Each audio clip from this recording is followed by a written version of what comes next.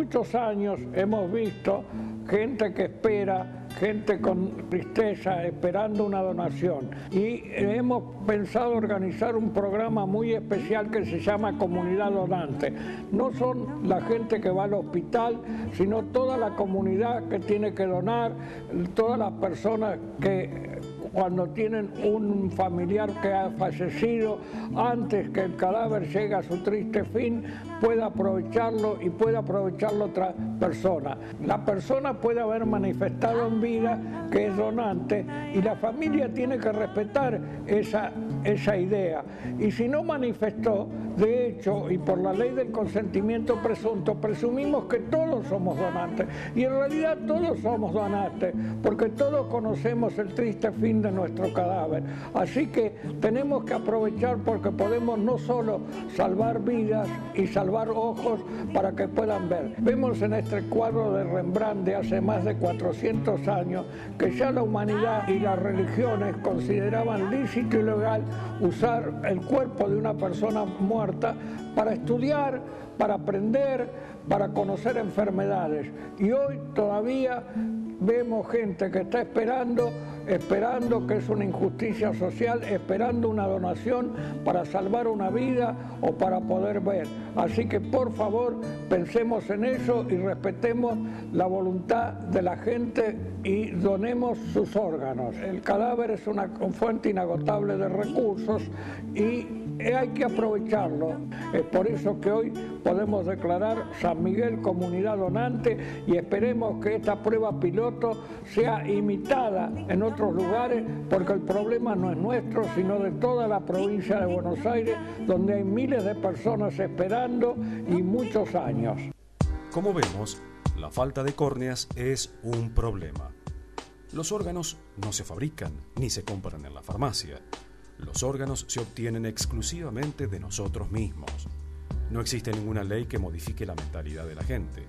Es a través de la educación que se concientiza a la comunidad de la necesidad del acto solidario de donar. Todos somos potencialmente donantes. Donar no es un regalo, es compartir una necesidad y una solución entre nosotros mismos. Estar en lista de espera, ciego esperando una córnea es una injusticia social. En la provincia de Buenos Aires, la espera es de más de 1.700 personas con una demora de más de 6 años. Esto ha impulsado el lanzamiento de un programa especial del Cucaiba, Mil Córneas para Buenos Aires, en el que la Fundación Nano participa activamente en su adaptación a toda la provincia y que se ha llamado San Miguel Comunidad Donante pues debemos entender claramente que la donación es un acto personal con proyección comunitaria.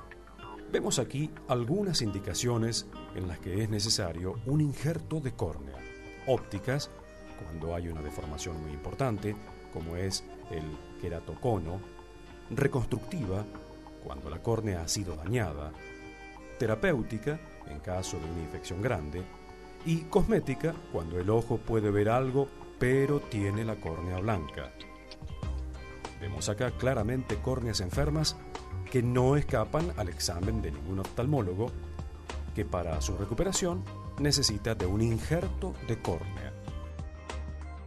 En esta otra imagen vemos córneas recuperadas mediante un injerto que posibilitan la visión a una persona hasta ese entonces no vidente.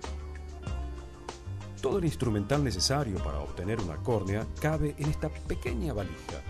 La extracción es una técnica sumamente sencilla y debe realizarse dentro de las seis horas posteriores al fallecimiento. Obtenida la córnea, se coloca en líquido especial de cultivo de tejidos, donde permanece inalterable hasta un máximo de 15 días. Es fácilmente transportable en cadena de frío desde el lugar en que se obtuvo.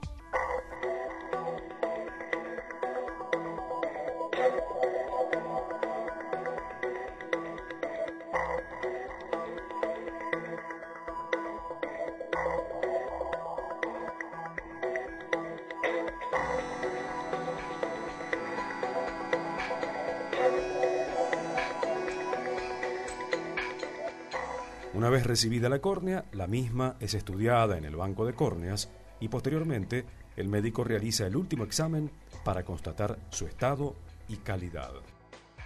El trasplante o injerto de córnea se realiza en una sala de operaciones altamente equipada. El paciente es asistido por un cardiólogo y un anestesista durante toda la cirugía. La misma es de carácter ambulatorio, es decir, una vez realizada la intervención, el paciente se retira a su domicilio. El esquema ilustra un injerto de córnea que luego de colocado en el ojo receptor se fija con una sutura ultra fina y de muy alta tecnología. Alguien puede pensar que un banco de córneas es una cosa compleja, con muchos aparatos, como vemos. Esta es una sala de operaciones precisamente para realizar injerto de córnea. Pero la obtención de la córnea en una persona fallecida es un acto muy sencillo y lo más importante de todo, que la persona fallecida no sufre ningún tipo de deformación, porque lo único que se lo extrae es ese tejido transparente que vimos al principio, que es la córnea.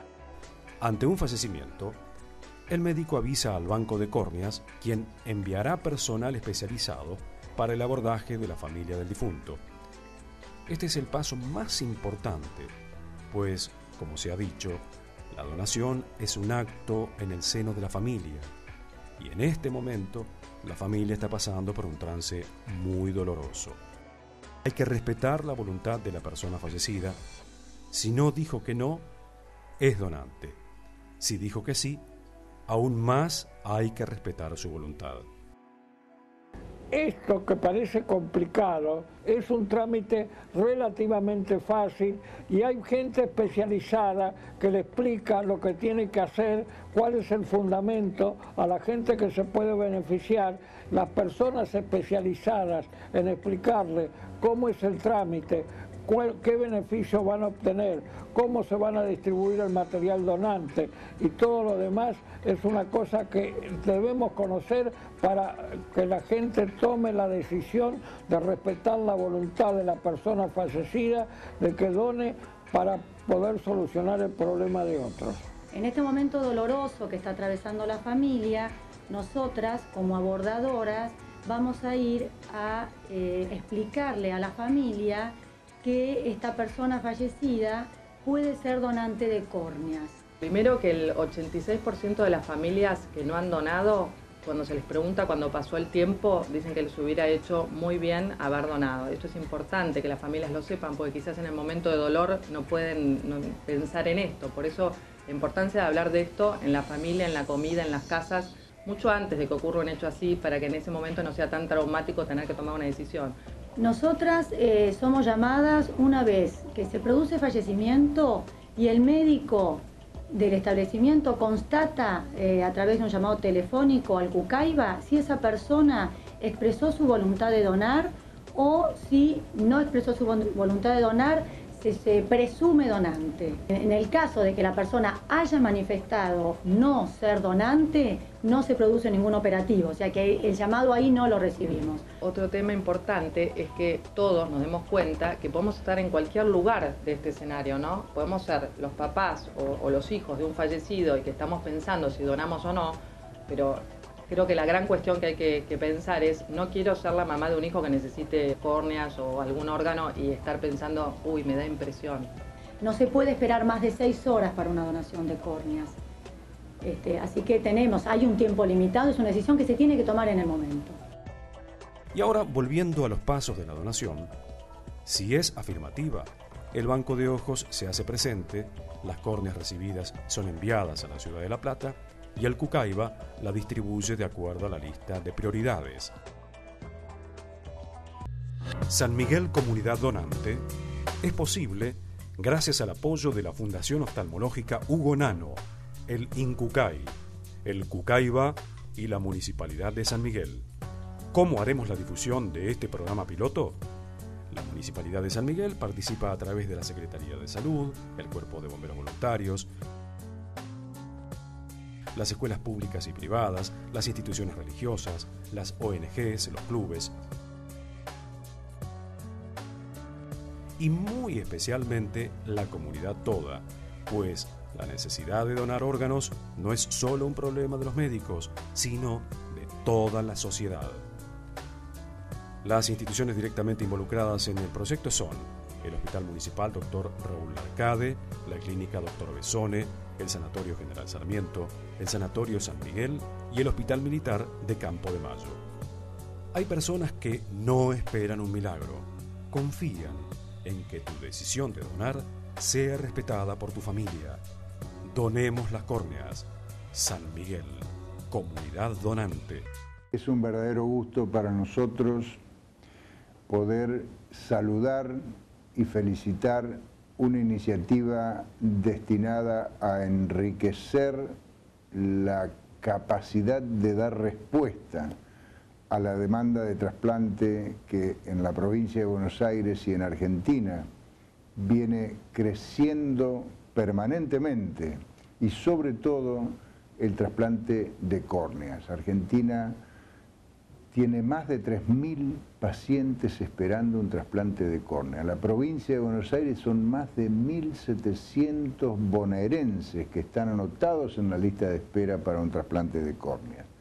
Por eso nos pone muy bien, nos llena de satisfacción poder ser parte de un proyecto que la Fundación Nano impulsa, pero que nuclea la voluntad de trabajo de todo un equipo profesional y que va a trabajar precisamente en el hospital público, en el caso de San Miguel, en las instituciones privadas, en las instituciones médico-asistenciales privadas y por supuesto con la concurrencia de la comunidad, de una comunidad que además por definición es donante, pero en esta situación particular digamos, vamos a hablar cada vez más frecuentemente de comunidad donante. Es un desafío que tiene como novedad dar respuesta a un problema de salud pública, que es la pérdida de la visión por eh, problemas de la córnea. Felicitaciones por la iniciativa y todo el, digamos, el mayor deseo de que estos esfuerzos más que deseo, la seguridad de que estos esfuerzos se van a ver coronados por resultados que van a justificar plenamente eh, todo este trabajo. Así que felicitaciones por la iniciativa y adelante, vamos todos juntos por lograr los objetivos de este programa, de esta comunidad donante. Consideramos nosotros que los argentinos somos absolutamente solidarios, por eso eh, este plan está orientado a trabajar el sistema de salud, que es quien tiene la mayor eh, responsabilidad para poder dar respuesta a esta problemática, junto con la ciudadanía para poder juntos eh, darle una respuesta a quien hoy está esperando, como comentamos anteriormente, más de seis años para poder trasplantarse, cuando en realidad el sistema puede, trabajando en forma conjunta con la población poder eh, reducir significativamente estos tiempos de espera. Hay un texto del Evangelio, según San Lucas, en el capítulo 18, donde Jesús se encuentra con un ciego que está tirado a orillas de un camino. Siente que Jesús pasa y comienza a gritar. Jesús se acerca a él y le pregunta con muchísima delicadeza, ¿qué quieres que haga por ti? Y el ciego, en una súplica, que más bien es un grito, le dice precisamente, Señor, que pueda ver. Creo que mm, esto es lo que tenemos que sentir en nuestras comunidades, concretamente en esta comunidad de San Miguel, que quiere ser una comunidad donante. Sentir el grito de este ciego y de tantos ciegos. Antes que nada lo tienen que sentir los que queremos ser donantes, porque donar es un acto de generosidad y de amor. Es una decisión muy personal que tenemos que tomar con toda conciencia. Junto a esta generosidad está la ciencia que nos permite esta maravilla del trasplante, eh, un gesto que la ciencia permite, gesto de amor, que hace parte de la cultura de la vida, porque justamente la ciencia se pone y la técnica al servicio de la vida del hombre, que es su finalidad. No tenemos ninguna objeción, ni moral ni religiosa, para el trasplante de córnea de un cadáver. Es verdad que se encuentra la integridad del cadáver. El cadáver eh, de un ser humano no es una cosa, no es el cadáver de un animal. pero privándole de las córneas no se priva de ningún bien que necesite, ya no cumple ninguna finalidad, ya no le sirve a la persona fallecida y en cambio puede ser un bien increíble para quien no ve. Ese gesto, si está movido por el amor a otros y por lo tanto por esta valiosa razón, es bueno y además es necesario. Entonces, eh, me deseo y les deseo a la comunidad de San Miguel que nos animemos a hacer este gesto importantísimo de amor y de vida.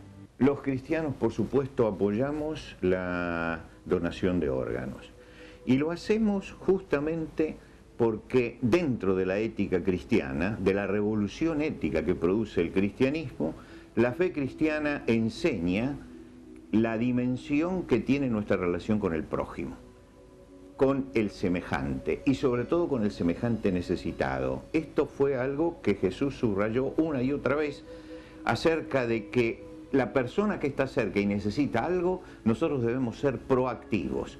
No solamente la ética diciendo yo no le hago mal a nadie, sino la ética cristiana dice hay que hacer todo el bien que yo pueda hacer.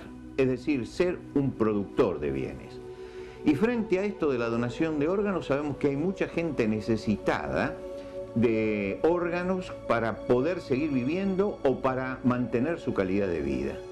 Y justamente por esto es que los cristianos entendemos, en primer lugar, que el hombre es un ser integral, cuerpo, alma y espíritu. Que en el momento de la muerte, lo que nos queda es simplemente un cadáver. Y que ese cadáver tiene una potencialidad importante para la donación de órganos. Quiere decir que la familia que ha seguido tal vez la enfermedad de su pariente y que en ese momento de dolor lo está entregando a la tierra, tiene que saber que todavía puede seguir haciendo bien y todavía puede seguir honrando la memoria de la persona que ha fallecido. ¿Y en qué forma? Donando sus órganos para que sean utilizados por otra persona, otra persona que está viva, y que puede mejorar su calidad de vida por medio de esta donación. Este es un acto que lo tiene que conversar la familia. Toda persona, aunque si no ha decidido nada con respecto a esto, es un potencial donante. Pero es la familia la que puede honrar la vida de aquel que ha partido, haciendo que más allá de la muerte pueda hacer una obra de bien, una obra de bien de la cual la familia es la intermediaria. Por lo tanto, no hay ningún problema en la donación de órganos. Es una forma de expresar la caridad cristiana en su máxima expresión. Y las tres religiones monoteístas que descienden del mismo tronco de Abraham están a favor de la donación de órganos. Por lo tanto, no hay ningún problema religioso, pero sí hay un compromiso ético. Y ese compromiso ético es hacer al prójimo que está vivo todo el bien que sea posible. Y por eso la donación de órganos tiene que ser algo que los cristianos no solamente defiendan éticamente, sino que practiquen. Y que la practiquen en ese momento de dolor en que el familiar se va, pero todavía puede hacer algo por el prójimo. Ayudemos a que aquellos que parten puedan hacer algo por el prójimo, acordándonos en ese momento que tal vez pueda donar las córneas y que sería importante, por ejemplo, para que una persona recuperara su visión. Por eso creo que tenemos que estar no solamente a favor de la donación de órganos, sino también practicar esto todos los días en que se nos presenta la posibilidad de ayudar al prójimo mediante la donación. Yo podría decir que desde ciertas perspectivas judías, la donación de órgano es un mandato. Lo que uno hace cuando dona órganos es poder trascender la propia vida. Y recomiendo ¿sí? a los familiares de aquellas personas que lamentablemente pasaron a otra instancia de nuestro mundo o de aquello en lo que nosotros creamos que puedan donar los órganos, porque de algún modo ellos se transforman y transmutan y viven en la vida de otros, que no es otra cosa que seguir viviendo la propia vida. una de las maravillas que tiene la vida, una de las maravillas que tiene la existencia es poder ver bien, es poder ver de manera sana, de poder ver al otro. Y el otro representa a nuestro propio lugar, el otro representa lo que nosotros somos en la vida.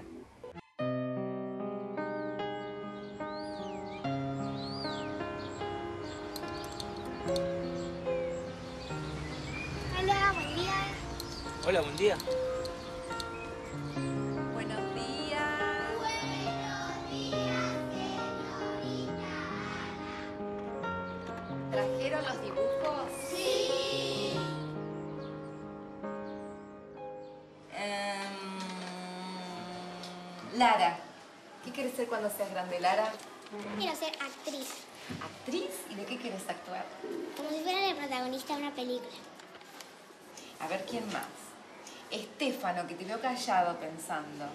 ¿Trajiste la tarea? ¿Qué quieres ser cuando seas grande? ¿Chef? ¿Querés tener un restaurante? ¿Y qué comidas van a ser las mejores del restaurante? Pero tenemos un chef que no sabe qué nos va a cocinar, por favor. Que pidan. Lo que pidan. Bauti, ¿qué vas a hacer cuando seas grande? Futbolista. Y hay 10. ¿Y como, No, como él es quién? volante, lo Pero déjalo hablar a Bauti. ¿Como quién, 10? Como Messi. Ah, como Messi. Eh, a ver, ¿quién más? Nico. ¿Dónde está Nico?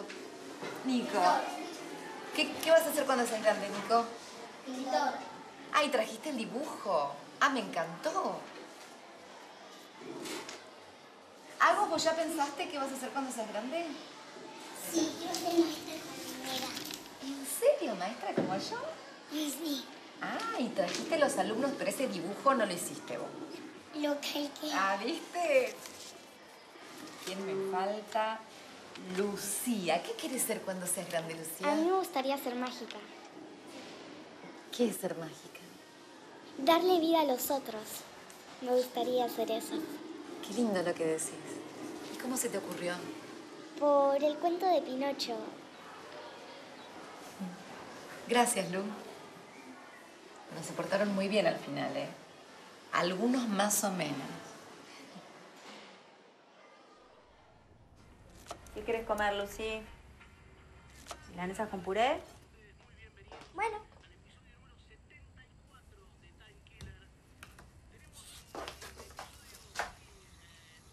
¿Qué haces jugando con esas muñecas? a que soy mágica. Mágica no, maga. No, las magas hacen aparecer y desaparecer cosas. Y las mágicas dan vida. Qué lindo eso, mi amor. Como Gepetto que le dio la vida a Pinocho. ¿Existió Gepetto de verdad? No, mi amor, es un cuento. ¿Y vos conociste a alguna persona o a alguien que haya dado vida? ¿Gepetto? No en un cuento, en la vida real. No. Lamentablemente no.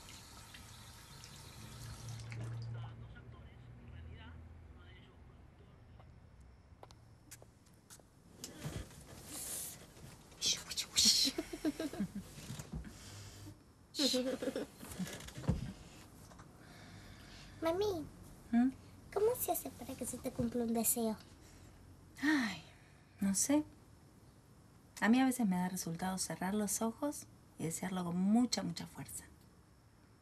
Te quiero. Yo también te quiero mucho, mi amor. Bueno, ahora a dormir que ya es tarde. ¿Me dejas prendida la luz? Sí, corazón, patito. Gracias. Que sueñe con los angelitos.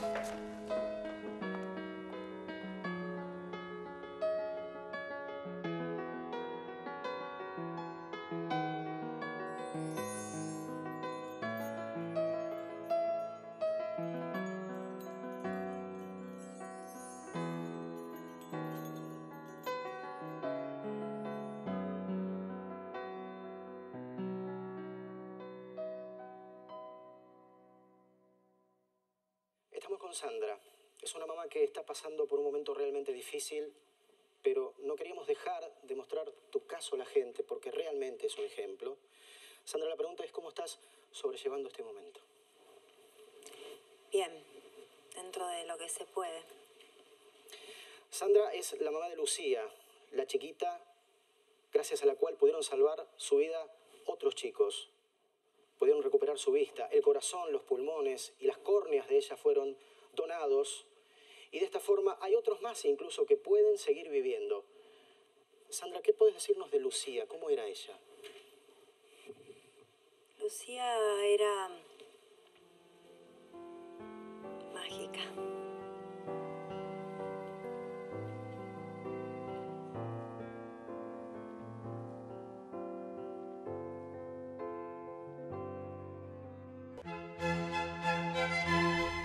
No más ciegos en la Argentina por falta de córneas.